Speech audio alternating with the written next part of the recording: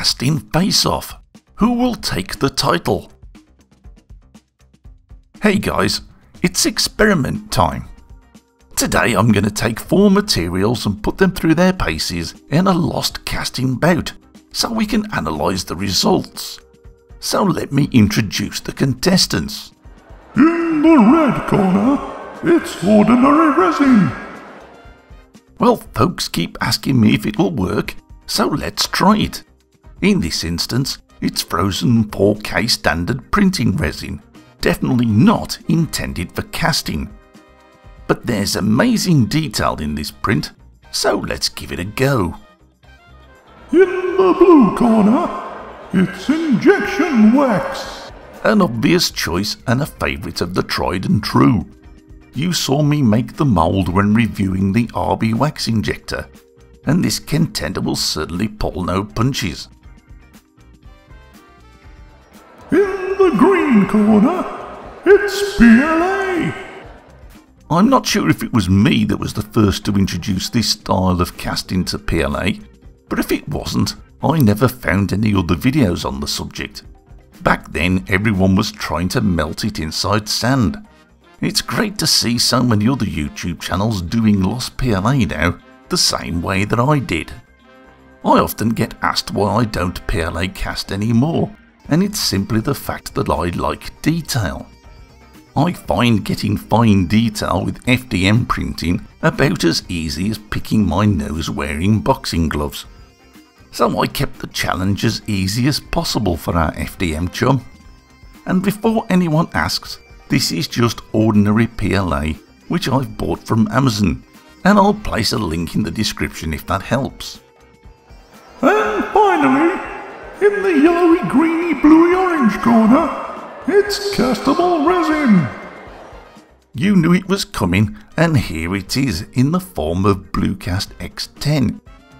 This one has been printed on the Sonic 4K, so it's had every opportunity to stand its ground against the chiselled form of wax and the godlike physique of 4K resin. Weigh in! I often get asked about shrinkage, and at my age, maybe that's no surprise, and certainly cold water doesn't help. But having a keen scientific mind, I generally can't be asked if I'm honest. But you guys have asked me to do it, so I'll try my best here. Our overweight contender is PLA. It's printed just a tiny bit oversized, at least according to my calipers, which are only cheap things from Amazon. But for such a great price, I'm not grumbling. 4K resin is looking lean, just a smidgen under ideal.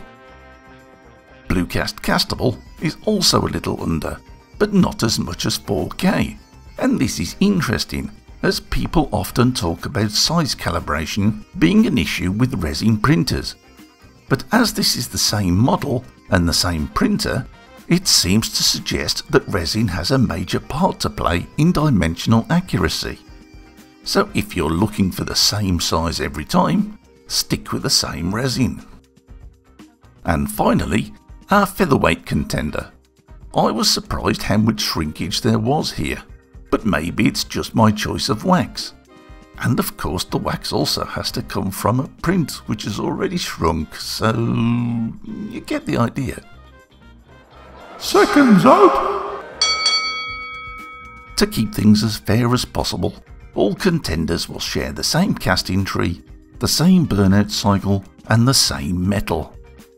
However, many would dispute this and say each should have their own optimal burnout cycle. But as this is my experiment, not theirs, they can push off. I've marked the trunk of the tree so I know which is which.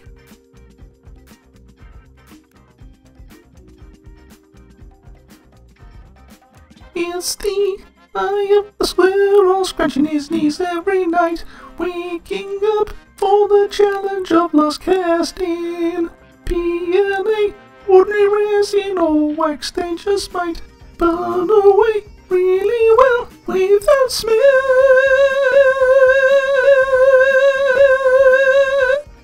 But it's doubtful.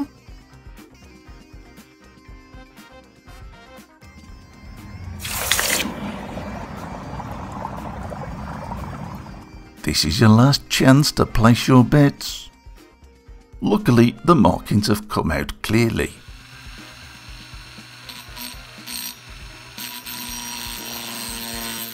In case I didn't make this clear, this one is the PLA. But what about the others? Let's give everything a basic cleanup and then we'll see.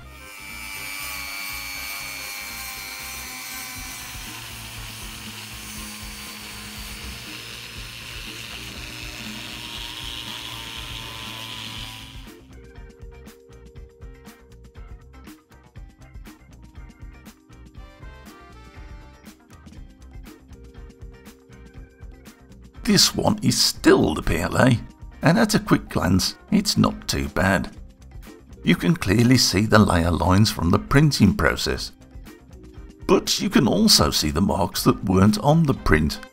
These are evidently flaws. This one is, well, pretty awful. And if you hadn't guessed, it's just ordinary 4K resin. It's no real surprise that something not made for the purpose should do so poorly at it. Sure, there may be some resins that produce better results than this 4K, and maybe hotter, longer burnouts might help. But that's speculation into something that frankly doesn't really interest me. Instead, I'll look to the products that give me the results that they claim they will, such as this one and this one as well. So we have a close contest between Bluecast X10 castable resin and injection wax. Who do you think should take their share of the gate money? For me it's close, it's very close, but I have to give it to wax. Neither was especially tidied up before casting, and neither have been tidied up now, so nothing is perfect and I'm not sure if the size difference is as obvious to you as it is to me, so let's have another weigh in. PLA has barely changed. Wax has shrunk a little. So has the castable resin. Ordinary resin seems to be bigger. Um, well, I don't know. But if we can replicate that with gold, we're laughing. Let's look at the numbers more closely.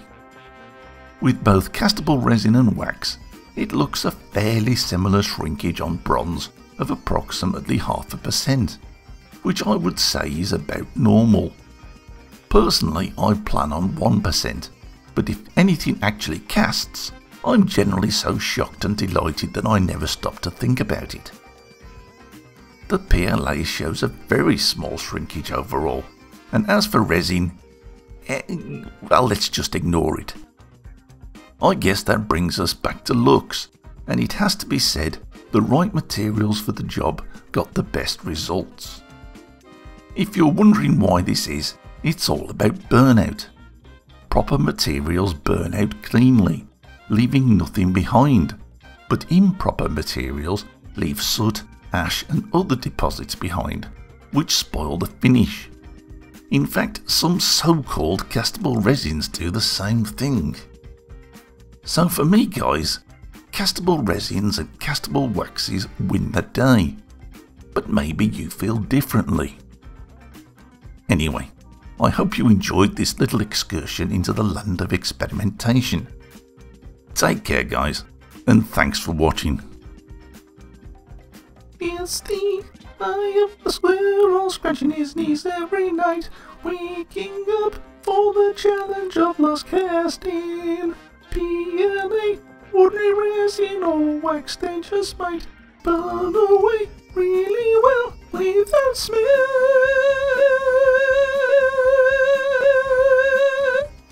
But it's doubtful